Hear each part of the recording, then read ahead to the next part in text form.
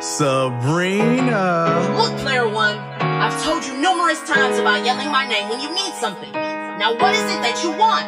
I want to tell you something. Well, spit it out already. You promise you won't get mad? okay, I'm listening. Okay. Look, I'm sorry for giving you such an issue. I was simply playing stupid to see if I could fully trust you. I mean, I am stuck in a video game, involuntarily. I look at you as my only friend in this room.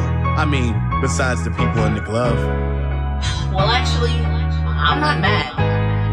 I've met a lot of stupid players, but not anyone to make even major frustrated. yeah, he's most definitely a major pain. Another pun, huh? Hmm. Anyways, I realized something. When Optimus gave me the Allspark, only 50% actually registers in the glove. Well, it's new to me because I've never seen it activated before. But the weird thing is, there's no more space for it to be 100%. And you need it to be before you leave the game. Exactly. So it only means one thing. I need the left-handed power glove. Did you just say the left-handed power glove? Yeah, makes total sense, right? Well, legend has it, the one they call the Sky God is the keeper of the glove, and is only available to whoever is worthy of its power. You're a good player, one. I will say that. But it will take more than what you know and have now. So where's the Rushmore in the Sky In Gerald's Field, you can't get there on foot but I can provide a ride for you. Although, this is where my assistance ends. Wait, wait, wait, wait. No.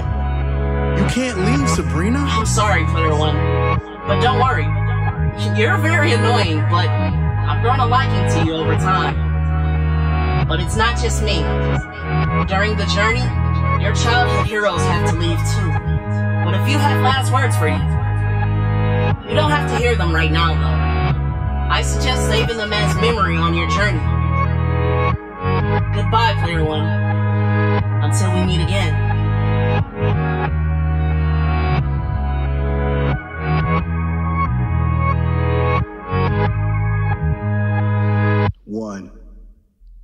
Always.